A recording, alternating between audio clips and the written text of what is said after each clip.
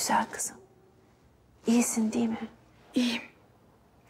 Kabus gibiydi ama geçti. Ayağın takılıp düşmüşsün öyle mi Naime? Öyle. Hatice sağ olsun bir an olsun yanımdan ayrılmadı. Kemalettin gelene kadar hep başımda durdu. Hayal meyal hatırlıyorum. Kim bilir nasıl korkmuşsundur. Çok endişelendim senin için. Biliyorum. Çünkü biz kardeşiz. Ben de senin için endişeleniyorum Abdülkadir. İzdivaç konusunda kendini yakmandan korkuyorum. Ben Mesut'um. Endişelenmene gerek yok.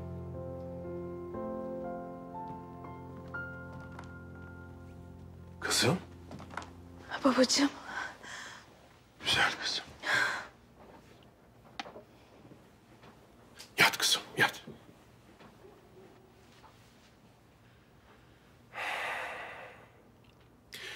Daha evvel de geldim lakin uyuyordun.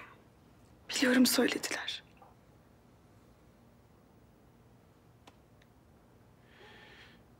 Benim dünyalar güzeli Ulviye kızım. Onun da böyle kara saçları vardı senin gibi. Pembe yanakları, uzun kirpikleri. O vakitler ben her sabah Tarabya'da denize girerdim. Sarayda yangın çıktığı vakit ben yine Tarabya'daydım. Biraderi Murat Efendi bir kayık gönderip derhal beni saraya çağırdı.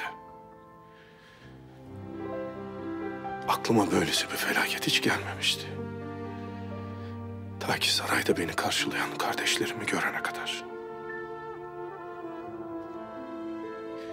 O an fena bir şey olduğunu anladım. Koşarak evladımın odasına çıktım. Güzel kızımın her yerini örtüyle kaplamışlardı. Gidip yüzünü açtım. Gözlerini araladı. Baba. Dedi son nefesini verdi. Allah mekanını cennet eylesin. Amin. Amin.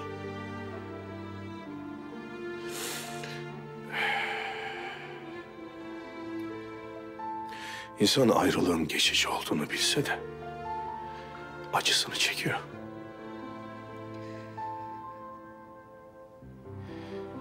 Senin de yangına maruz kaldığını duyunca güzel kızım. O günleri böyle tekrar yaşadım. Allah seni bize bağışladı. Çok şükür kızımız iyi hünkârım. Şükür. Şükür. Kemalettin sayesinde. Benim için hiç düşünmeden ateşlerin arasına atladı. Ben sadece yapmam gerekeni yaptım. Allah senden razı olsun evladım. Allah sizden razı olsun.